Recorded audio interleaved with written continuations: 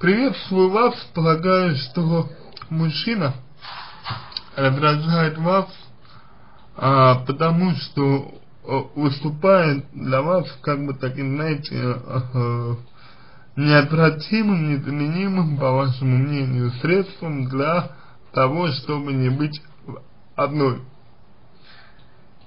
А, мужчина раздражает вас потому, что вы понимаете, что в целом это не тот человек, которым вы бы хотели быть. А, в целом этот человек тянет вас назад. В целом этот человек, э, ну, жизнь которого идет, наверное, по неспадающей, раз он пьет, раз вы помогали ему выбраться из запора. То есть это, по сути, алкоголик. Если я правильно вас понял. И мы связали жизнь с ним, понимая все негативные стороны этого решения, только потому, что вами движет вот это вот ваше желание. И вы это желание по-другому удовлетворить не можете. И из-за этого вы привязываетесь к этому мужчине, вследствие чего вы в нем видите своего врага. То есть как бы вы свой собственный негатив переносите на него. Из-за того, что как бы его вините в том, что вы к нему привязаны, что он вам нужен. Хотя в действительности мужчина-то как бы, а, ну, наверное, не виноват. То есть он вам не должен а, ничего. Он пил, я, правда, непонятно, пил ли он до вашей встречи или после, но тем не менее. А, тут момент другой. Это ваш третий брак, и, судя по всему, третий брак уже неудачный. И совершенно очевидно, что э, во всех браках, в том числе и в этом, вы делаете какие-то определенные, отдельные, но системные, повторяющиеся ошибки. И вот с этими ошибками нужно разбираться. Например, почему вы не хотите жить одна? В чем ваша потребность? Если вы не хотите жить одна, значит вы боитесь одиночества, или если не боитесь, то оно вам не нравится, оно вас не устраивает. И вы нуждаетесь в ком-то, чтобы жить с кем-то. Получается, что вы нуждаетесь в человеке и вступаете с ним в отношения, нуждаясь в нем. Если это так, если вы вступаете в отношения, нуждаясь в ком-то, значит вы ставите себя априори ниже человека потому что вы в нем нуждаетесь, и о равноправных отношениях, о независимых отношениях речь не идет. Соответственно, нужно вам освобождаться от этого, нужно перестать бояться одиночества, нужно хотеть быть одной, точнее, хотеть быть в уединении, потому что одиночество это вынужденное уединение нет. И тогда вы будете более тщательно, более, ну, может, может, может быть, неторопливо, может быть, более придирчиво выбирать себе, себе партнеров. Ну, например, почему вы помогали мужчине выбраться из запора? Почему вы решили разделить с ним это, э, а не ушли от него? Правильно, вами, вами двигало нежелание жить одной. Понятно.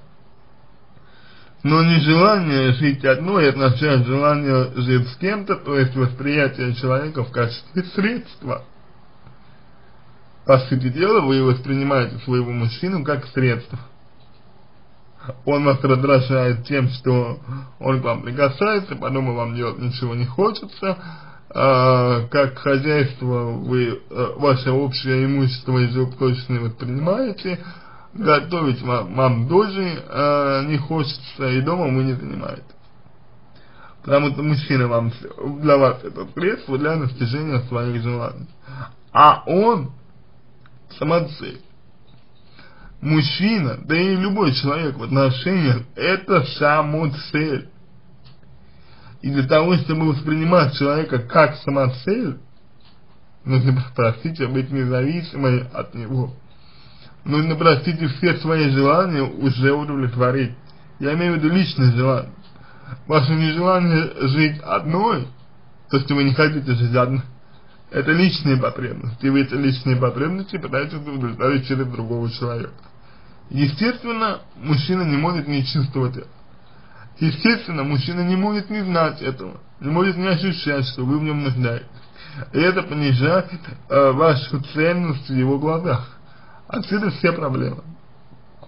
А, ну, в принципе, наверное, все. То есть нужно анализировать ваши отношения с мужчинами, все отношения.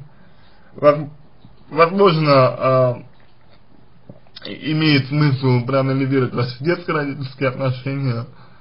Возможно, стоит присмотреть ваше женское поведение, ваши желания, а, сферу потребностей я бы сказал, что э, какие-то потребности вам нужно будет удовлетворять самостоятельно, то есть это предполагает личностный рост, это предполагает освоение э, культурных ценностей, это предполагает доверие своим желаниям, удовлетворение их не через кого-то, а напрямую, напрямую только.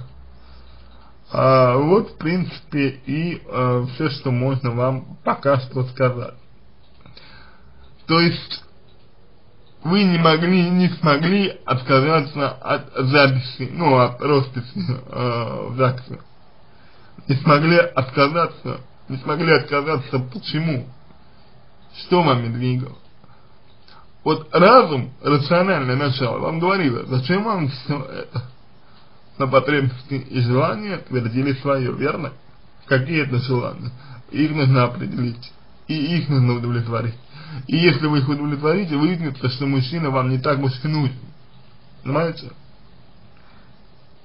Не, не, не нужно бояться остаться одной. Не нужно бояться быть, быть в уединении, это нормально. Но уединение, в отличие от, от одиночества, это сознательное стремление человека к тому, чтобы быть одному. А одиночество это вынужденное, это вынужденное состояние. И вот если вы сознательно придете к тому, что вам можно побыть одной, если вы одино, в уединении будете, в уединении будете видеть а, положительные черты, положительные моменты для себя, то вы и бояться его не будете. Вы принадлежите сами себе, вы хозяйка сама себе, вы делаете все, что хотите, ни от кого не зависите, но при этом, как равноправный человек, вы имеете полную э, свободу в общении с другими мужчинами. И если кто-то вас устраивает во всех отношениях, соответствует идеалу вашему мужчину, например, или типажу, или просто зацепил вас, никто не мешает вам вступать с ним в отношения. Но только по обоюдному желанию, только по взаимному согласию и полной уверенности, а не так, как вы ради чего-то. Ради чего-то отношения не строят это отношение по расчету. Отсюда у вас и раздражение. На этом все. Надеюсь, что помог вам. Если какие-то вопросы остались, обращайтесь в личку помогу. Если вам понравился мой ответ, буду благодарен, если сделаете его лучшим. Желаю вам всего доброго и удачи.